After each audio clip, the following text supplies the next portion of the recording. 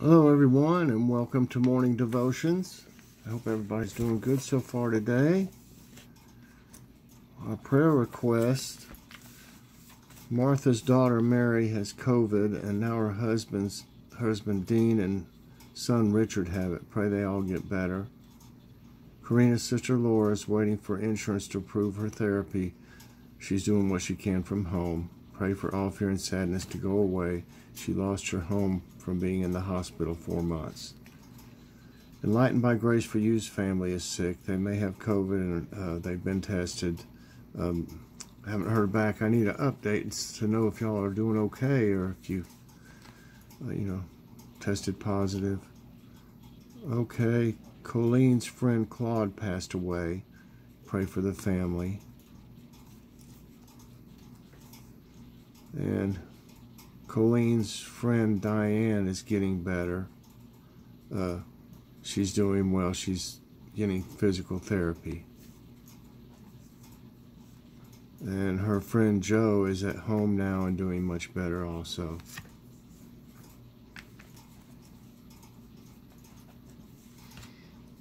Okay.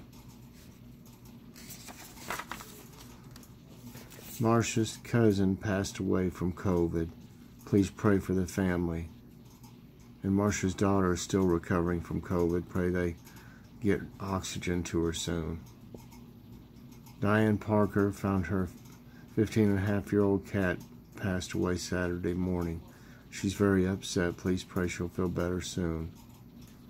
Maria V's niece Carrie had a biopsy and test done. Pray for a good outcome. Martha's son-in-law Dean is well from COVID. Her daughter May May is recovering from it, and her son Richard is dealing with COVID too. Um, my daughter, or our daughter, Jackie's back is doing better. Her elbow still hurts. Her husband Will has shingles and needs uh, his wisdom teeth pulled. They're having money problems, also need to refinance their house. Kim's stepdad is on peritoneal dialysis and his therapist wants him to change to the blood dialysis. Pray he decides to go that route. Joy Tucker's friends David and Lorraine need prayer because his mother passed away. Remember the family in prayer also. Jen's brother Alex went to the ER with chest pains. Pray he'll be okay.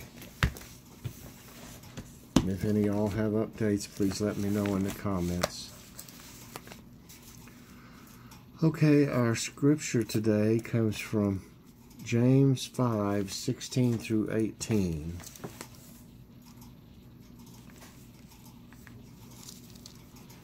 Therefore, confess your sins to each other and pray for each other so that you may be healed.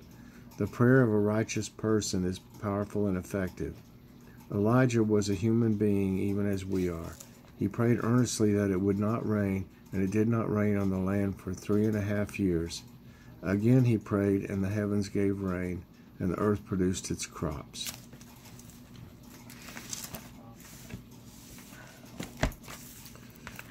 Okay, our devotion today is entitled Praying Effectively. Toward the end of James' epistle, is the statement that should increase our confidence in God. The effective prayer of a righteous man can accomplish much. What a comfort to know that the Lord hears and responds to the petitions of the righteous. The Greek word for accomplish is the one from which we derive our English word energy. The prayers of God's people don't merely drift into space, but are avenues through which God does his amazing work on earth. However, he cannot be manipulated into unleashing his power.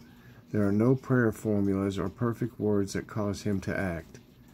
What does James mean by effective prayer? 1 John 5:14 gives us a hint. If we ask anything according to his will, he hears us. Therefore, we can define effective prayer as that which is in accordance with God's will.